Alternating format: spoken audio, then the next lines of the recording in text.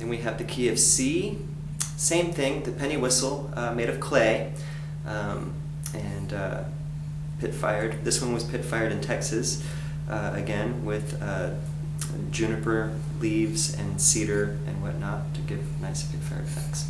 Sounds like this, the key of C.